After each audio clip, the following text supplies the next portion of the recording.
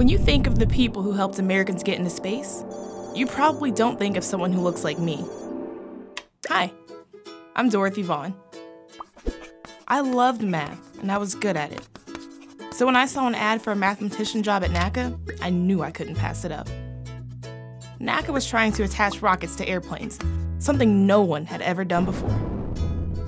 They put me in the West Area Computing Unit, an all African American group of brilliant women mathematicians. Because of Virginia's Jim Crow laws, we were segregated from other parts of NACA, even though we were just as smart and talented as anybody else. Not only did we work in separate offices, we had to use separate restrooms and sat at a lunch table in the back of the cafeteria labeled colored. Most folks didn't even know our unit existed, but our calculations helped send satellites into space and put a man on the moon for the first time in history. And get this we did all these calculations by hand. We were called computers.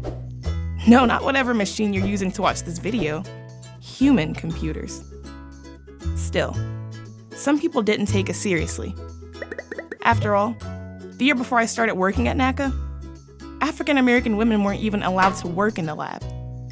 And we definitely weren't allowed to be supervisors.